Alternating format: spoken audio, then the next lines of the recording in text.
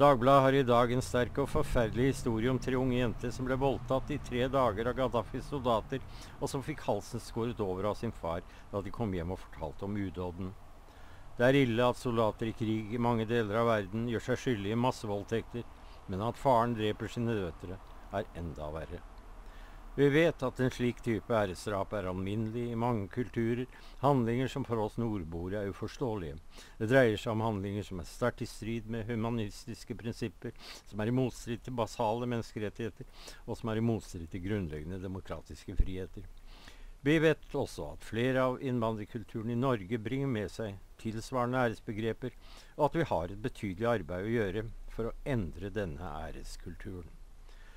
På kort sikt er det bare én måte å løse problemene med æresrelatert vold på, nemlig å utvise en bestemt og konsekvent anvendelse av lovverket.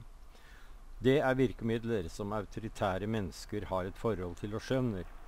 I flere saker som har hatt å gjøre med æresrelatert vold, fremgår det at rettsmyndighetene tvert imot har brukt de tradisjonelle æresbegrepene som begrunnelse for redusert straff. Det er et uttrykk for en juridisk bedømming som slett ikke fungerer etter hensikten.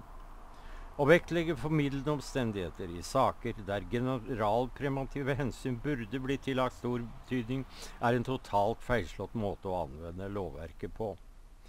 Det skal naturligvis være likhet for loven, men lovanvendelsen bør ta i betraktning at i disse æresrelaterte sammenhengene dreier det seg om kulturelle tradisjoner og handlinger som er totalt uforenlige med europeisk og norsk syn på adekvat menneskelig atferd.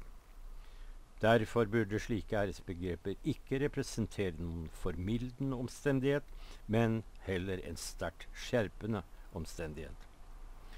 På lang sikt må oppdragelsesstrukturer og holdninger endres, bl.a. ved at disse problemstillingene tas hensyn til i ulike oppdragelses- og dannelsessammenheng. Først og fremst i barnehagene, i skole- og utdanningssystemet og i arbeidslivet.